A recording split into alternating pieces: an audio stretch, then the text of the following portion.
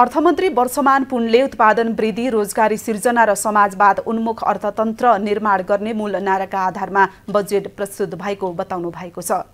शनिबार काठमाडौँमा नेकपा माओवादी केन्द्र अछाम काठमाडौँ सम्पर्क समन्वय समितिको भेलालाई सम्बोधन गर्दै उहाँले यस्तो बताउनु भएको हो। उहाँले बजेटमा कृषि पर्यटन जलविद्युत आइटी क्षेत्रलाई नेपालको अर्थतन्त्रमा रूपान्तरण ल्याउने क्षेत्रका रूपमा अघि सारिएको जानकारी दिनुभयो। सात प्रदेशका सातवटा विशेषता छुट्याइएको समेत बताउनु भएको छ। उहाँले सुदूरपश्चिमलाई पर्यटकीय हबको रूपमा विकास गर्ने गरी बजेटमा विनियोजन गरिएको बताउनुभयो। सरकारले अहिले सुशासन सामाजिक न्याय समृद्धिलाई जोडेर लैजाने गरी काम गरिरहेको बताउनुभयो। मानिस धनी हुने मात्रै नभई समानतातिर लैजाने किसिमले उत्पादन केन्द्रित बजेट ल्याएको बताउनुभयो।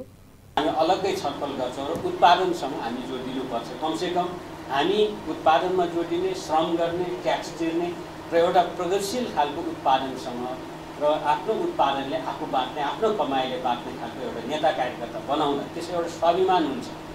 श्रमप्रतिको सम्मान उत्पादनमा एउटा आत्मनिर्भरता र एउटा स्वाभिमान हुन्छ। त्यस्ता नेता कार्यकर्ताले मात्रै देशलाई अगाडि लान सक्छ।